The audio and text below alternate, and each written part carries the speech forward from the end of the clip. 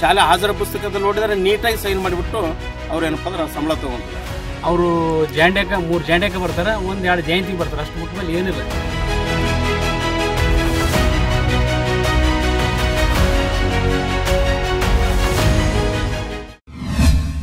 ಶಾಲೆಗೆ ನಿರಂತರ ಗೈರಾಗುತ್ತಿರುವ ಮುಖ್ಯೋಪಾಧ್ಯಾಯ ನಾಗನಗೌಡರನ್ನ ಸೇವೆಯಿಂದ ಅಮಾನತುಗೊಳಿಸಬೇಕು ಅಂತ ಆಗ್ರಹಿಸಿ ಭಾರತ ವಿದ್ಯಾರ್ಥಿ ಫೆಡರೇಷನ್ ಲಿಂಗನಸೂರು ತಾಲೂಕಿನ ಯಲಗಟ್ಟ ಸರ್ಕಾರಿ ಪ್ರೌಢಶಾಲೆಯ ಮುಂದೆ ಅನಿರ್ದಿಷ್ಟಾವಧಿ ಧರಣಿ ನಡೆಸಿದೆ.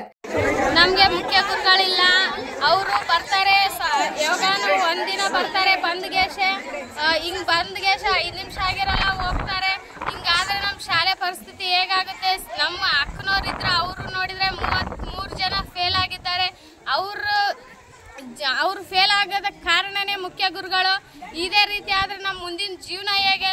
ಶಿಕ್ಷಕರಿಲ್ಲ ಎರಡೇ ಇಬ್ಬರೇ ಸರ್ಸ್ಗಳು ಅವರು ಇಬ್ಬರೇ ಪಾಠ ಮಾಡಿದ್ರೆ ಇನ್ನು ಉಳಿಕೆ ಸಬ್ಜೆಕ್ಟಿಗೆ ನಾವು ಏನು ಮಾಡಬೇಕು?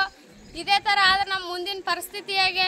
ಇಲ್ಲಿವರೆಗೂ ಏನಪ್ಪ ಸಂಬಳ ಯಲಗಟ್ಟ ಶಾಲೆ ಹೆಸರು ಹೇಳಿ ಏನಪ್ಪ ಸುಮಾರು ಸಾವಿರಾರು ಲಕ್ಷ ಗಂಟಲೆ ಏನಪ್ಪ ಅಂದ್ರೆ ಸಂಬಳ ತಗೊಂಡು ಇಲ್ಲಿ ಜೀವನ ನಡೆಸ್ತಿದಾರೆ. ಆ ರಾಜಕೀಯ ಮಾಡ್ತಾರೆ, ಲಿಂಗಸೂರಲ್ಲಿ ಇದ್ದುಕೊಂಡು ಬೇರೆ ಕಡೆ ಇದ್ದುಕೊಂಡು ಇಲ್ಲಿ ಗೈರಾಜರಾಗ್ತಾರೆ ಶಾಲೆಗೆ ಬರೋದಿಲ್ಲ.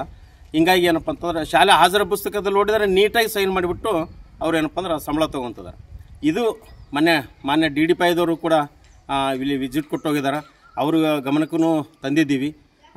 ಮತ್ತು ಬಿ ಒ ಸಾಹೇಬ್ರೂ ಇಲ್ಲಿ ವಿಸಿಟ್ ಕೊಟ್ಟೋಗಿದ್ದಾರೆ. ಅವ್ರ ಗಮನಕ್ಕೂ ತಂದಿದ್ದೀವಿ. ಮಾನ್ಯ ರಾಜ್ಯ ಮಾಜಿ ಸಚಿವರು ಹನುಮಂತಪ್ಪ ಆಲ್ಕೋಡು ಸಾಹೇಬ್ರು ಸದಾ ಏನಪ್ಪ ಅಂತಂದ್ರೆ ಇಲ್ಲಿ ಸ್ಕೂಲ್ಗೆ ವಿಸಿಟ್ ಕೊಟ್ಟು ಡಿ ಡಿ ಪೈ ಜೊತೆಗೆ ಏನಪ್ಪ ಅಂದ್ರೆ ಫೋನ್ ಕರೆ ಮಾಡಿ ತಿಳಿಸಿ ಬಿ ಅವ್ರಿಗೆ ತಿಳಿಸಿ ಸಿ ಎಸ್ ಅವರಿಗೆ ತಿಳಿಸಿದ್ರು ಕೂಡ ಏನಪ್ಪ ಅಂದ್ರೆ ಇಲ್ಲಿವರೆಗೂ ಕ್ರ- ಕ್ರಮ ಯಾವುದೇ ರೀತಿಯಿಂದ ಆಗಿಲ್ಲ. ಇಲ್ಲಿನ ಸರ್ಕಾರಿ ಪ್ರೌಢಶಾಲೆಯ ಮುಖ್ಯೋಪಾಧ್ಯಾಯ ನಾಗನಗೌಡ ಅವರು ಕಳೆದ ಎರಡು ವರ್ಷಗಳಿಂದ ಶಾಲೆಗೆ ನಿರಂತರವಾಗಿ ಅನಧಿಕೃತವಾಗಿ ಗೈರಾಗುತ್ತಿದ್ದು ಶಾಲೆಯ ಮಕ್ಕಳ ವಿದ್ಯಾಭ್ಯಾಸದ ಮೇಲೆ ವ್ಯತಿರಿಕ್ತ ಪರಿಣಾಮ ಬೀರ್ತಾ ಇದೆ. ಈ ಬಗ್ಗೆ ಸಂಘಟನೆಗಳು ಸೇರಿ ದೂರನ್ನ ನೀಡಿದ್ರು. ಶಿಕ್ಷಣ ಇಲಾಖೆ ರಾಜಕೀಯ ಒತ್ತಡಕ್ಕೆ ಮಣಿದು ಕ್ರಮ ತೆಗೆದುಕೊಳ್ಳಲು ಹಿಂದೇಟು ಹಾಕಿದ್ದಾರೆ ಅಂತ ಆಕ್ರೋಶ ವ್ಯಕ್ತಪಡಿಸಿದ್ರು. ಹೇಳಿದ್ರು ಶಾಲೆಗೆ ಸರಿಯಾಗಿ ಬರೋದಿಲ್ಲ ಅವರು. ಈಗ ನಾವು ಹೋದ ವರ್ಷದಲ್ಲಿ ಎಂಟನೇ ತಿಂಗಳಲ್ಲಿ ಒಂದು ಬಿ ಒ ಎಫ್ಸಿಗೆ ಹೋಗಿಸಿ ಬಿ ಒ ಖುದ್ದಾಮ್ ಹೋಗಿ ಲೆಟ್ರ್ ಕೊಟ್ರನ, ಅವರು ಬಂದಿಲ್ಲ. ಬಂದವ್ರನ್ನ ಅವರು ಜಾಂಡ್ಯಾಕ, ಮೂರು ಜಾಂಡ್ಯಾಕ ಬರ್ತಾರೆ, ಒಂದು ಎರಡು ಜಯಂತಿಗೆ ಬರ್ತಾರೆ. ಅಷ್ಟು ಬಿಟ್ಟ ಮೇಲೆ ಏನಿಲ್ಲ. ನಮಗೆ ಹೇಳಿ ಹೇಳಿ ಎಲ್ಲ ಅವ್ರ ಕಾಲಕ್ಕೆ ಸಾಕಾಗುತ್ತೆ ನನಗೇನಂದ್ರೆ ನಾವು ಟ್ರಾನ್ಸ್ಫರ್ ಮಾಡ್ಸ್ಕೊಂತೀವಿ ಅಂತ ಹೇಳಿದ್ರು ಮಾರ್ಚಿನ ತಿಂಗಳದಾಗ. ಹೇಳಿದ್ರೆ ಅವರು ಈಗ ಏನಾದ್ರೆ ನೀವು ಸಾಲಿಗೆ ಸರಿಯಾಗಿ ಬರೋದಿಲ್ಲ ಅವರು. ಅವ್ರಿಂದ ನಮ್ಗೆ ಭಾಳ ಹುಡುಗರಿಗೂ ತೊಂದರೆ ಐತೆ. ಇಲ್ಲಿ ಇಲ್ಲಿ ಇದ್ದವ್ರಿಗೆ ಮಾಸ್ಟ್ರಿಗೂ ಭಾಳ ತೊಂದರೆ ಆಗ್ತಾವೆ ಅವ್ರು ಬರಲಾರ್ದಕ್ಕೆ ಅವ್ರನ್ನ ಸರಿಗೆ ಇದು ಆಗೋದಿಲ್ಲ ಅವ್ರು ಒಂದೂವರೆ ವರ್ಷದಿಂದ ಲೆಟರ್ ಕೊಟ್ಟಿರಿ ಅವ್ರಿಗೆ. ಮೊದಲ ಮೊದಲಿದ್ದವ್ರನ್ನ ಕೊಟ್ಟಾರ ಅವರು. ನಾವು ಓದ್ ವರ್ಷದಾಗ ಎಂಟನೇ ತಿಂಗಳದಾಗ ಕೊಟ್ಟಿವ್ರಿ ನಾವು. ಏನು ಹೋಗಿ ಬಿ ಎಫ್ಸ್ಗೆ ಹೋಗಿ ಒಂದು ಎಂಟತ್ತು ಜನ ಹೋಗಿ ಕೊಟ್ಟಿವ್ರಿ. ಕೊಟ್ಟ ಮೇಲೆ ಸಾಲಿಗೆ ಬಂದ್ರಿ. ಬಂದು ನಿನ್ಬೇಕು ನಾ ಸರಿಯಾಗಿ ಬರ್ತಾನೆ ಅಂತ ಹೇಳಿದ್ರೆ. ಅವಾದ್ಲಿಂದ ತಿರುಗಿ ಬರೋದೇ ಇಲ್ಲ ಅವರು.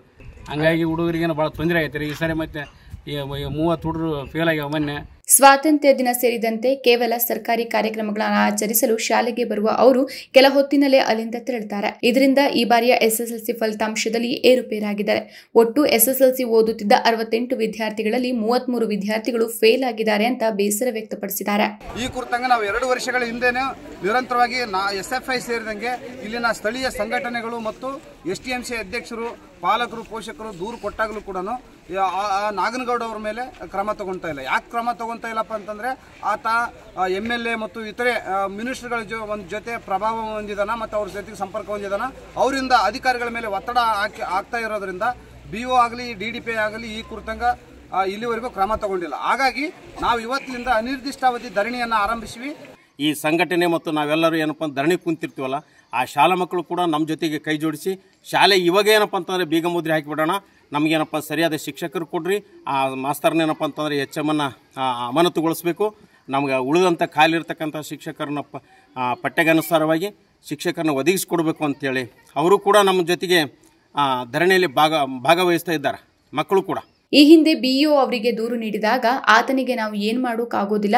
ಆತ ರಾಜಕೀಯ ಒತ್ತಡ ತರ್ತಾನೆ. ಆತನ ಸಮಸ್ಯೆ ಬಿಟ್ಟು ಬೇರೆ ಏನ್ ಬೇಕಾದ್ರೂ ಹೇಳಿ ಅಂತ ಉಡಾಫೆ ಉತ್ತರ ನೀಡಿದ್ದಾರೆ. ಇಂತಹ ಬೇಜವಾಬ್ದಾರಿ ಅಧಿಕಾರಿಯಿಂದ ನಮ್ಮ ತಾಲೂಕಿನಲ್ಲಿ ಶಿಕ್ಷಣ ವ್ಯವಸ್ಥೆ ಹದಗೆಟ್ಟು ಹೋಗಿದೆ. ಆದ್ರಿಂದ ಈ ಕೂಡಲೇ ಮುಖ್ಯೋಪಾಧ್ಯಾಯ ಅವರನ್ನ ಸೇವೆಯಿಂದ ಅಮಾನತು ಮಾಡಬೇಕು. ಶಾಲೆಯಲ್ಲಿ ವಿದ್ಯಾರ್ಥಿಗಳ ಸಂಖ್ಯೆಗೆ ತಕ್ಕಂತೆ ಅಗತ್ಯ ಖಾಯಂ ಶಿಕ್ಷಕರನ್ನ ನೇಮಕ ಮಾಡಬೇಕು. ಶಾಲೆಗೆ ಬೇಕಾದ ಎಲ್ಲಾ ಅಗತ್ಯ ಮೂಲಭೂತ ಸೌಕರ್ಯಗಳನ್ನ ನೀಡಬೇಕು ಅಂತ ಎಸ್ಎಫ್ಐ ಆಗ್ರಹ ವ್ಯಕ್ತಪಡಿಸಿದ್ರು. ಡಿಡಿಪಿಐ ಸ್ಥಳಕ್ಕೆ ಬರುವವರೆಗೂ ಹೋರಾಟ ನಿಲ್ಲಿಸೋದಿಲ್ಲ ಅಂತ ಪ್ರತಿಭಟನಾಕಾರರು ಪಟ್ಟು ಹಿಡಿದಿದ್ರು.